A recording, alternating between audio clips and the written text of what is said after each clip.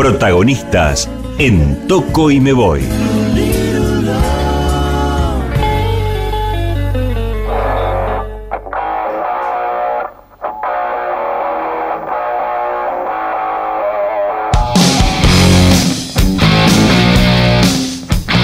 Continuamos en Toco y me voy. El pasado fin de semana se llevó a cabo la primera fecha del eh, campeonato San Juanino de Velocidad en el Vigicum de la vecina provincia y que contó con la presencia del mendocino Mariano Villalobos con destacada participación en el debut, con eh, un nuevo equipo y con la posibilidad de ser protagonista en una de las categorías más respetadas y valoradas que tiene el país del motociclismo. Muy gentilmente atiende nuestro llamado y podemos dialogar con Mariano respecto a su presente en la categoría y por supuesto lo que vendrá en este campeonato sanjuanino de velocidad. Mariano, ¿cómo estás? Buenos días.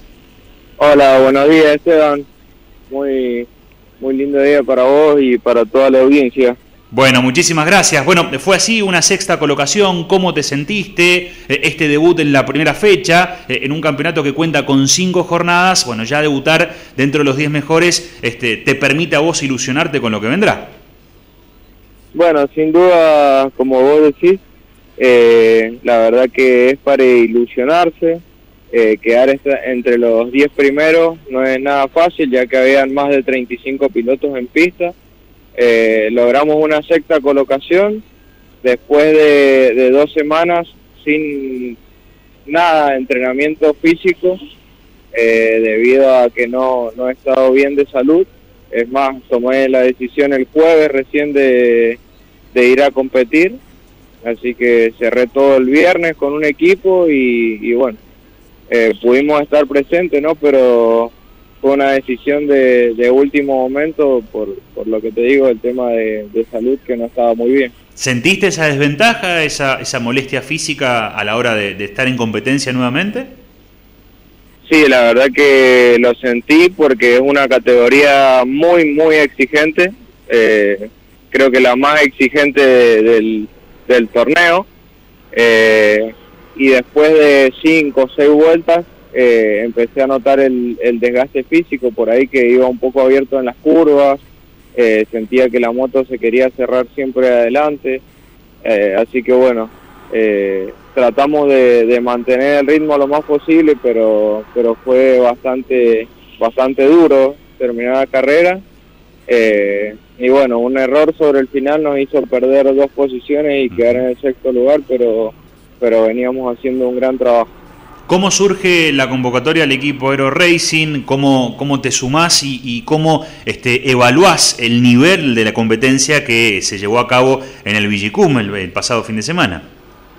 Bueno, el nivel increíble, el nivel piloto, nivel equipo, eh, todos trabajan mucho acá en la Argentina, eh, es, una, es una realidad eh, ya que el, año pasado, bueno, yo estuve corriendo en Brasil y, la verdad que el trabajo que se hace acá en Argentina es algo totalmente totalmente diferente, se trabaja muchísimo más fino que, en otros lugares, por lo menos lo que yo he visto. Eh, y con respecto a, nivel, hay muchísimo nivel acá en la Argentina de pilotos, eh, y cantidad también, muchísima cantidad, así que bueno, eh, lo que vos me consultabas, cómo, cómo llegué al equipo Aero Racing, en realidad está al mando de René Sanata Sport, ese es el equipo. En conjunto con Aero Racing hemos, hemos armado algo para trabajar este año. Eh, bueno, René la otra vez hizo un entrenamiento, eh, estuvimos trabajando bastante y él venía llamándome casi todos los días para que yo estuviera en el equipo con él. Así que bueno, eh, hice, me comuniqué con él el jueves en la noche, eh, cerramos para, para competir esta, esta carrera, así que pudimos estar presentes con él. Pero no fue algo tan, tan armado así desde, desde antes, ¿no? Pero dicen, viste, que a veces las cosas eh, improvisadas son las mejores eh, y salen las mejores propuestas. Eh, para una categoría tan difícil, donde es necesario el sponsoreo, la recaudación de dinero y el acompañamiento, por sobre todas las cosas, en la difusión de los eventos, imagino que se puede proyectar con el equipo, más allá de lo que pase en San Juan, otro tipo de competencia. Sí, la verdad que René quiere, bueno, hacer el campeonato argentino, quiere hacer este campeonato que se hace en San Juan, eh, quiere, quiere que me vaya a, Santa Fe a trabajar con él. Eh, así que bueno, vamos a ver qué, qué sigue surgiendo este año, a ver cómo nos trata la pandemia para poder seguir trabajando para las próximas fechas. Así como también se llevó a cabo en el Zonal Cuyano, que se disputó en, San Juan, eh, hubo muchos controles, estrictos controles desde lo protocolar en cuanto a lo sanitario, producto de la pandemia.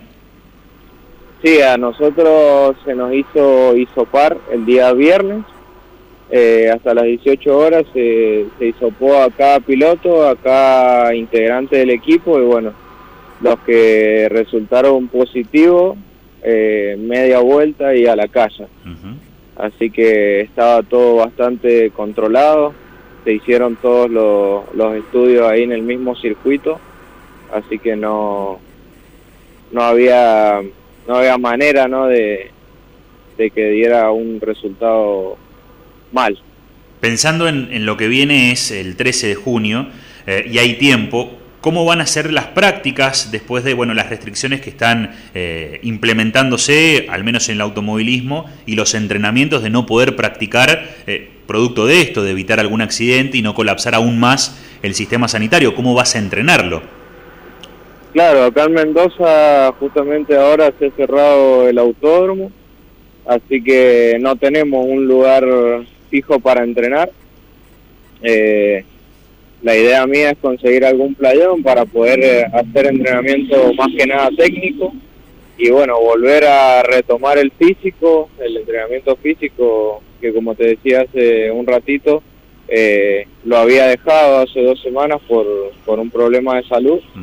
Pero bueno, ahora vamos a, poder volver a trabajar fuerte y poder estar mejor para la próxima fecha. No pudimos hablar después de un gran cierre del 2020 y un muy buen comienzo también del 2021, eh, sobre todo por su participación en el Superbike de Brasil. Eh, ¿Qué balance haces de esta experiencia y qué, qué te queda para los próximos desafíos y compromisos que tengas en el plano internacional? Bueno, una experiencia increíble. Eh, lo vivido lo vivido allá la verdad que totalmente diferente acá la, la manera de trabajo como te decía hace un rato eh, y todo todo es totalmente diferente.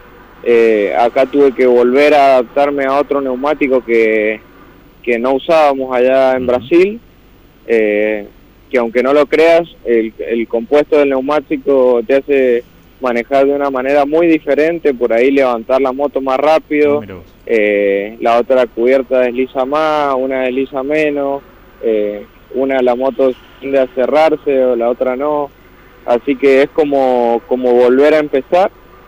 Y como bien decías, un, un balance muy positivo de lo que fue el 2020, eh, que pudimos hacer las últimas cuatro fechas del campeonato brasilero nos trajimos podio en todo, así que algo muy, muy positivo. ¿Y quedaron bien las relaciones para, para nuevos compromisos, la intención de ser convocado nuevamente?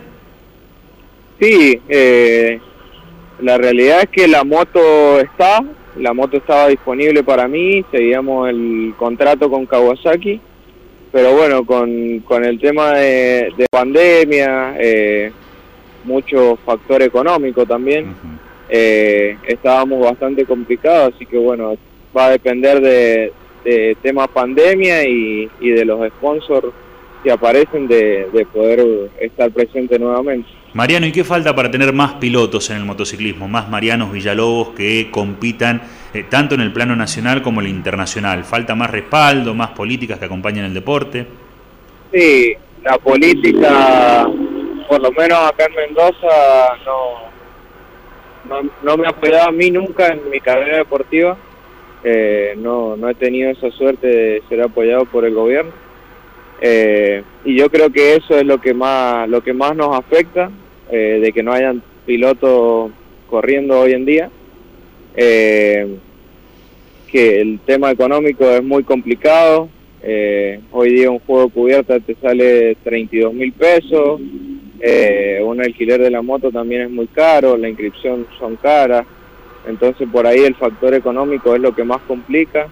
y bueno, yo yo antes tenía una escuela de pilotos, eh, que por ahí seguimos trabajando con algunos chicos, como por ejemplo Agustín Salazar, que también estuvo presente en esta fecha, eh, pero son altos los costos, eh, o sea, un, un día de, de trabajo cuesta bastante caro, ya que hay que incluir moto, bueno, combustible, neumáticos, eh, y un día de entrenamiento por ahí es muy caro y, no son muchos los que los que pueden hacerlo. Entonces es bastante bastante complicado. A mí me cuesta muchísimo entrenar eh, entreno más que nada físico porque moto es muy poco lo que hago Así que trabajamos desde donde se puede y, tratamos de ir siempre al frente lo más adelante posible. Y después de este pasado fin de semana en San Juan, ¿viste diferencias en infraestructura y en respaldo eh, de los sanjuaninos para con sus pilotos, a diferencia nuestra? Eh, la verdad que sí, eh, ellos sí reciben mucho apoyo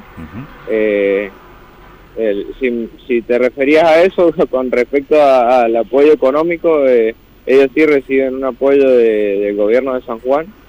Eh, y bueno, sería lo que, lo que nos hace falta a los pilotos de Mendoza, ya que siempre tenemos que trabajar desde el pulmón o, de algunas empresas que, como en mi caso de Aero Internet, que bueno, gracias a ellos estoy compitiendo.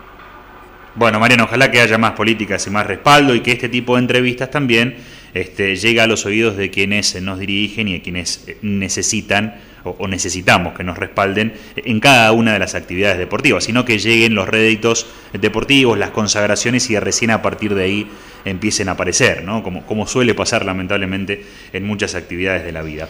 Eh, Mariano, como siempre es un placer poder dialogar con vos, desearte la mejor de las suertes y por supuesto este espacio abierto siempre a la posibilidad de poder difundir el deporte.